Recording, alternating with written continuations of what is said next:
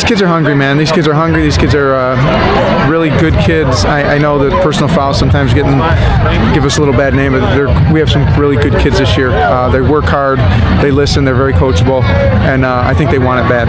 Experienced squad, but to be at 5 and 0 right now, what's it say about this group? Uh, they're focused and ready to go every single game. Um, we, we don't we don't let them take a day off. We don't let them take a game off. Uh, last week at Brush, it really was harping on just being prepared, being ready. It was a business trip, so we'll do the same. It's, it's next Friday's another another game. Be where we're at right now.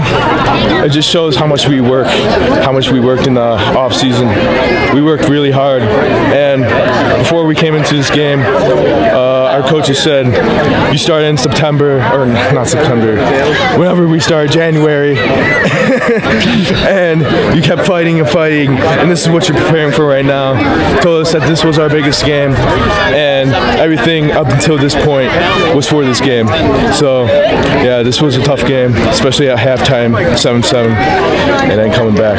I mean, last year we were we were really young, and it was this was our tough game, tough one on the schedule. We knew that this year it was it was it was a big one for us. We wanted it really bad, so it's just huge. I mean, we've since second week of January, January 14th was our first workout, and ever since that day we've been laser focused, and we know we just week by week, and now it's on to Madison.